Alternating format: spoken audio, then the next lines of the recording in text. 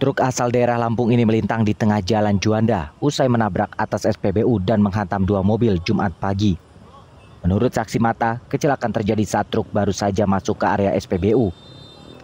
Kondisi jalan masuk SPBU yang menanjak dan truk diduga mengalami remblong membuat truk hilang kendali.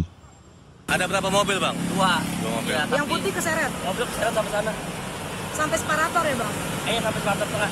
Bang pada saat itu eh, di dalam truk ada Ada ada ada ada supir sama kredit. Selain SPBU, truk juga menabrak dua mobil hingga mengalami kerusakan parah. Dua mobil yang parkir di depan klinik kecantikan ini bahkan terseret hingga 50 meter. Kepolisian dari Satlantas Porestro Depok yang datang ke lokasi kejadian mendata dua mobil yang rusak serta meminta keterangan sopir truk. Ronaldo Jerry, Jak TV.